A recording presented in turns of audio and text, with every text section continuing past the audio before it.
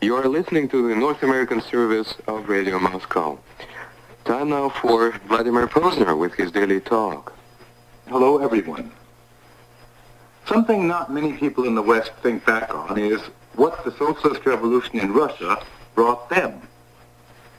To how great an extent it affected their daily lives and continues to do so.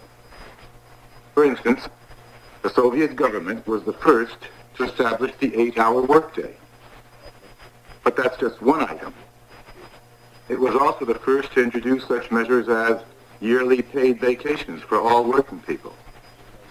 It was the first to legislate retirement pensions. These measures were later adopted by just about all Western countries. They were too attractive for the man in the street to be ignored. So just remember who you owe this to, at least in principle. But there are a whole lot of other measures which, attractive as they may be, have still to be incorporated in the social structure of the Western democracies, as they choose to call themselves, in particular America.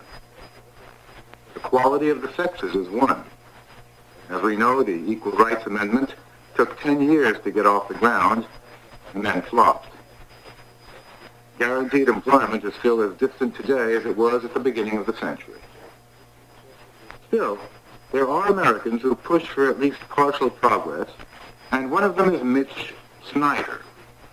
Snyder became nationally prominent in the States when he went on a 51-day hunger strike last October-November to make the government reconstruct Washington's home for the poor. After the elections, President Reagan promised to allocate $5 million from federal funds for that project. What generosity. I wonder how many shelters for the homeless could be built at the cost of one MX missile or B-1 bomber. But that's an aside.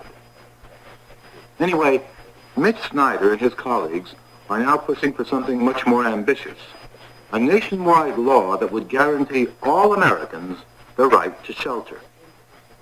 Now, that is pretty good. I mean, just look.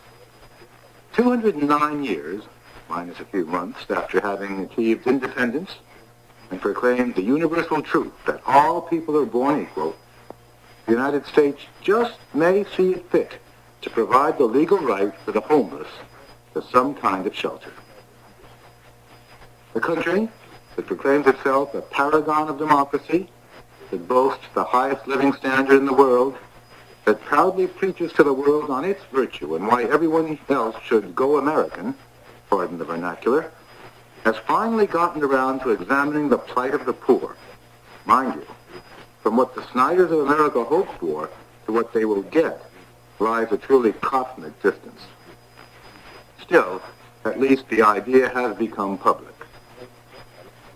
In 1977, just 60 years after our revolution, we adopted a new constitution which, among other rights, guaranteed the right of every Soviet citizen to a home. Those 60 years began in a country ravaged by World War I and saw the further destruction of the economy during the Civil War, during foreign intervention. They saw the annihilation of one-third of the national wealth in World War II, the razing of 1,700 cities and towns, and 25 million people left homeless. And yet, when it turned 60 years young, this society was able to guarantee, not just on paper, but in fact, the constitutional right of every one of us to a home. In view of today's situation in the United States, the comparison is, I believe, valuable.